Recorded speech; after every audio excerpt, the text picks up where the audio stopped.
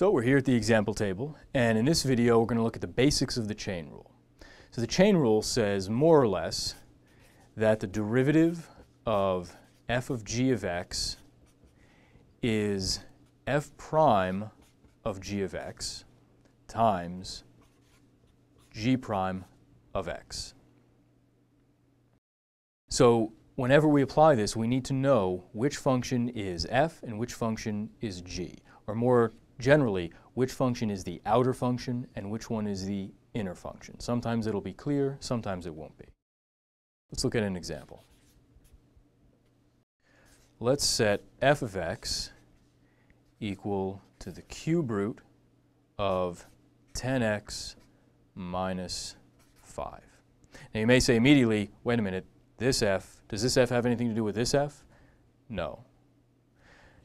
But we use f all the time for functions. And so you should be used to seeing this formulation of the chain rule being applied to functions called f. So you want to think of these two things as the outer and inner functions. Don't necessarily tie them to these letters. So we're going to look for the derivative of f. So you have to find the inner and outer functions. Ah, but the first thing we're doing is, is going to rewrite this thing. We want to rewrite this the way we always rewrite roots when we're differentiating, which is as an exponent. So cube root becomes to the one-third power. Now, what's the outer function here? It's actually written in a way that makes it pretty clear. Raising to the one-third power is the outer function. So something to the one-third is the outer function. What's the inner function? Well, it's everything that's inside. So this, 10x minus 5,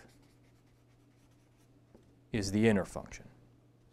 So when we differentiate, when we get f prime, we're first going to take the derivative of the outer function.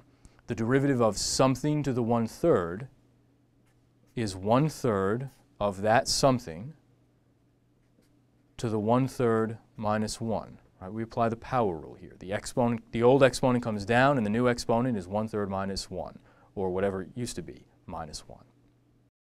What goes inside the parentheses is what was in the parentheses before. So we put 10x minus 5. Now we multiply by the derivative of the inner function. 10x minus 5, the derivative of that, is 10. So if we simplify a little bit, we get 10 thirds times the quantity 10x minus 5 to the negative 2 thirds. And that's how we get f prime. Let's look at another example.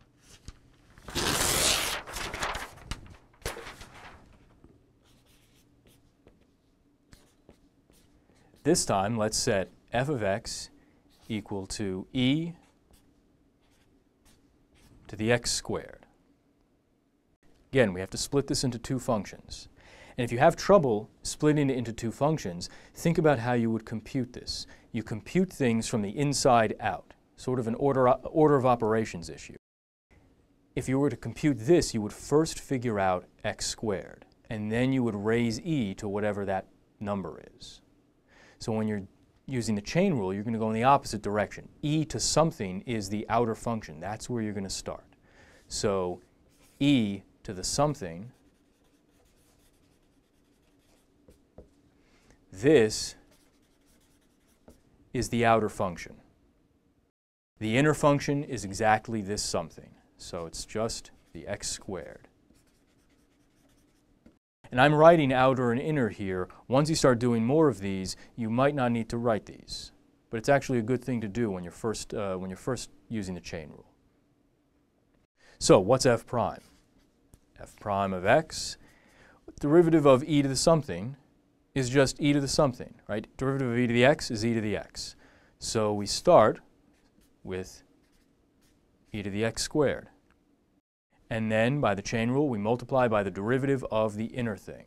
And the derivative of x squared is 2x.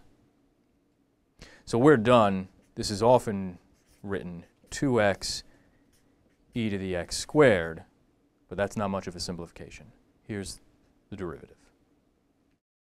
Let's look at another example.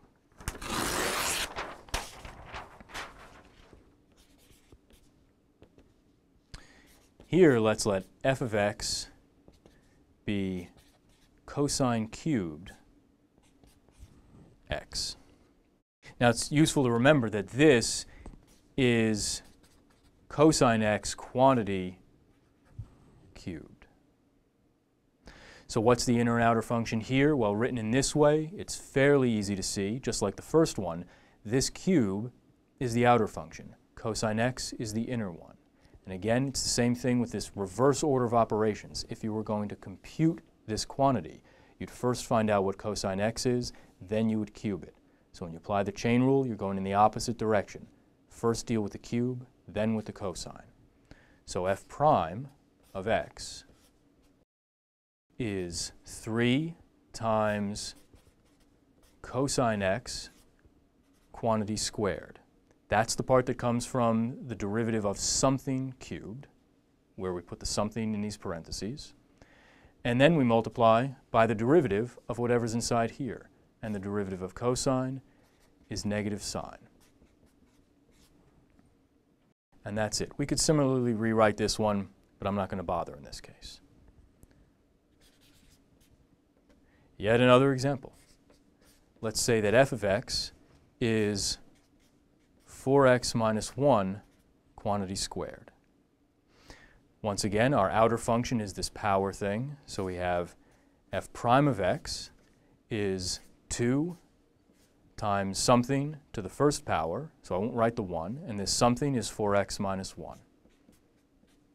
We multiply that by the derivative of what's inside, which is 4. So this becomes 8 times 4x minus 1, or 32x minus 8. Now you might be saying, why did we use the chain rule here? You could just as easily, well, maybe not just as easily, have written this as 4x minus 1 times 4x minus 1. Here you could use the product rule, or you could expand this fully and differentiate it the way you would differentiate any other polynomial. But this process, even when it's just a square, is going to involve more algebra than this process. We didn't really need any here. Let's look at an example where it's pretty unavoidable. So f of x, let's stick with 4x minus 1, but now let's raise it to the 37th power. No way you want to expand this. So here, you don't absolutely need the chain rule, but you sure do want it. This is 37 times 4x minus 1 to the 36th power times 4. And those are some basic applications of the chain rule.